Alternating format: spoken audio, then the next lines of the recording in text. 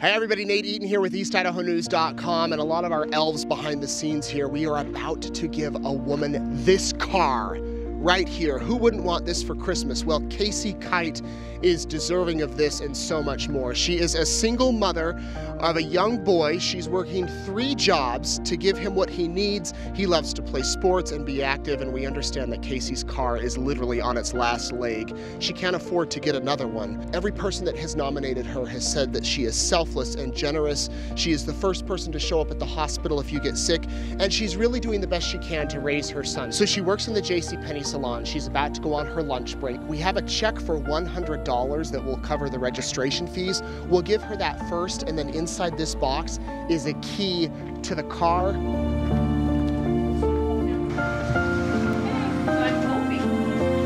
I'm looking for the best haircutting person in town. Hi. And we hear it's you. Do you need to dry her head? Um, I don't even. Hello. Hi. So, how's your Christmas going? Your Christmas season?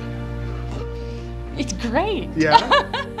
Just working. Do you know why we're here? I mean, have you seen? I've seen You've East seen News. Yes. Okay. So we're actually here on behalf of the Secret Santa. We got several nominations about you, how you're working hard, caring for your son, that you're you're frugal, you cut coupons, you go to sales, and Secret Santa said, you know what, we need to take her a gift. So we got you something. We got this for you that can hopefully help with your Christmas. And then we got one more thing that you can open up inside that box. I'm like shaking. No worries. It's okay to share. Do you know what that is? Secret Santa got you a car. And it's here.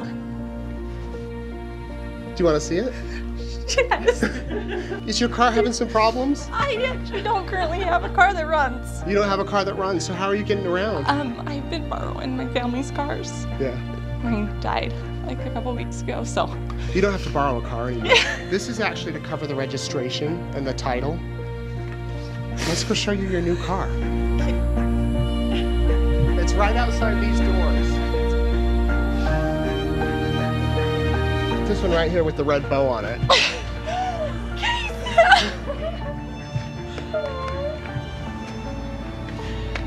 pretty exciting day. it's beautiful. Holy cow! You Thank need, to, you. you, need to, you need to come and get in. I'm sorry, we should have had you grab your coat.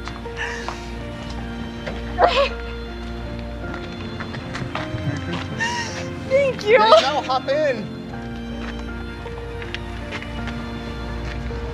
Does it feel like home? It's amazing.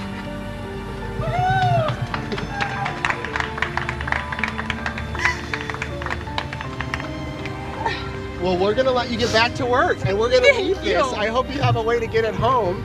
Thank you so much. Merry Christmas. There you go. I don't even. I don't even know what to say. Is there anything you want to say to the Secret Santa? Thank you so very much. I am beyond grateful and just grateful I have a car to get my kid to and from his activities and to work and oh my gosh, I don't even know what to say. Thank you so Thank much. you.